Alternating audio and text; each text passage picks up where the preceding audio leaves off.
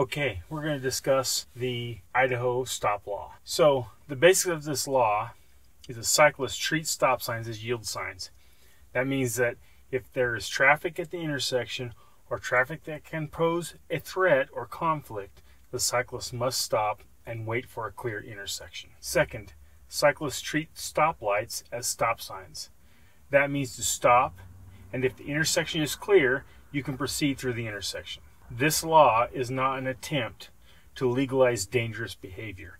In fact, just the opposite. Cyclists yielding at stop signs increases their efficiency and is really logical if you've ever ridden a bicycle as a commuter or for utility or necessity. Many cyclists want to clear the light controlled intersections before other traffic in order to stay safe. Cyclists are often bullied or passed dangerously in these types of intersections. It really is good to clear these conflict zones when it is clear.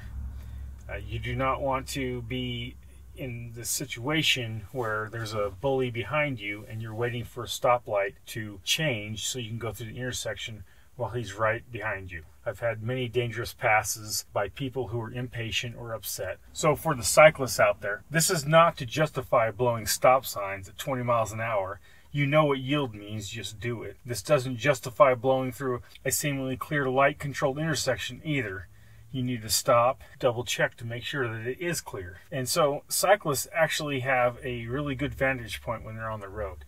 When they pull up to an intersection, they don't have anything in their field of view that obstructs them. They're able to see uh, more clearly down the road in, in all directions. They really are able to tell when it is safe to clear the intersection. One thing about roads that are designed specifically for motor vehicles is traffic signals and many traffic signs. They came about to prevent motor traffic from causing harm to others or even themselves.